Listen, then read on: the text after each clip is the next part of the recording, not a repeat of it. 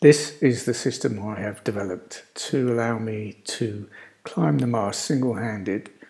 It consists of a triple block at the top, a double block at the bottom and a long length of line.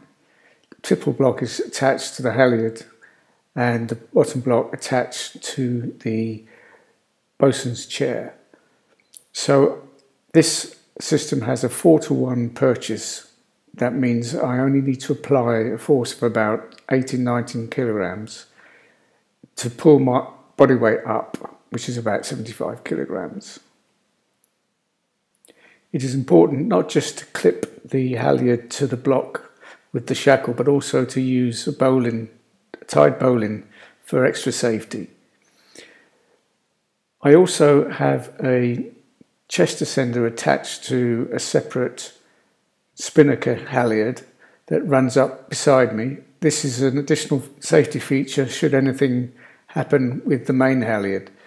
This ascender is attached directly to the bosun's chair and it rises up the spinnaker halyard as I pull myself up on the main halyard.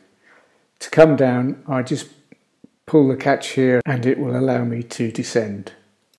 As I pull on the main block, the line is passed through a cam cleat and this is attached directly to the bosun's chair. So at any point, if I let go of the line, I'm held there hands free. So the first job is to pull the top block all the way up the mast to a position about two or three feet above where I want to end up. Today I'm replacing the steaming light, so I shall raise the block about five feet above the spreaders.